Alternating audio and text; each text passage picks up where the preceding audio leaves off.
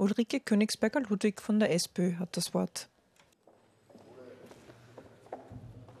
Danke, Herr Präsident.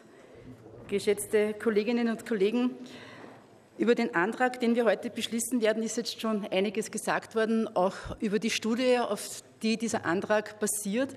Und es sind auch schon viele Zahlen genannt worden, die diese Studie ans Licht gebracht hat, erschütternde Zahlen über die Gewalt an Frauen. Ich möchte es noch um eine Zahl ergänzen, nämlich, dass zwei Drittel aller betroffenen Frauen, von Gewalt betroffener Frauen, diese Gewalt nicht melden, weder an die Polizei noch an eine Beratungsstelle. Wenn man sich das noch einmal vor Augen führt, dann weiß man, dass die Gewalt an Frauen, die sexuelle Gewalt, psychische, physische Gewalt noch um ein Vielfaches höher ist. Und auch das sollte man bei der Debatte eigentlich sich immer wieder vor Augen führen, wie groß dieses Problem international ist. Und das wurde ja von Ihnen auch ganz drastisch angesprochen, dass uns wirklich, zumindest mich, auch sehr berührt hat. Auch in Österreich, wir wissen es, gibt es diese Gewalt in der Familie und sie ist eines, das ähm, eigentlich sehr oft vorkommt. In den unterschiedlichen Formen wird auch schon angesprochen, welche Formen von Gewalt es gibt. Und ich denke, es gibt ein paar Punkte, auf die man ganz besonders achten muss. Es ist die Prävention. Das wurde heute auch schon angesprochen. Und da denke ich mir, dass es ganz wichtig ist, in den Schulen starke Mädchen und starke Buben zu formen, zu erziehen, sie zu begleiten, dass, es, dass man ihnen lehrt, dass es andere Mechanismen für Konfliktlösung gibt, als sie mit Gewalt zu lösen. Probleme gibt es immer, aber nicht mit Gewalt lösen.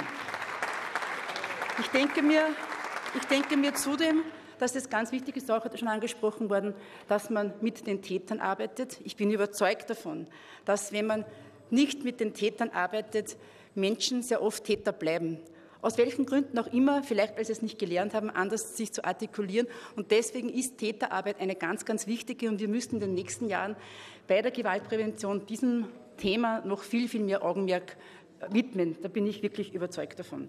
Und ich möchte abschließend, ich hätte noch viel zu sagen, ich habe leider nur zwei Minuten, ich möchte abschließend noch sagen, dass sich die Initiative der FPÖ, FPÖ diesen Antrag zu erweitern auf Gewalt generell auf Gewalt, äh, ganz egal wem gegenüber, unterstütze und dass wir, soweit ich jetzt richtig informiert bin, auch zustimmen werden, weil ich mir denke, es ist ein Menschenrecht, vor Gewalt geschützt zu werden, denn es ist eine gravierende Menschenrechtsverletzung, wenn man von Gewalt betroffen ist.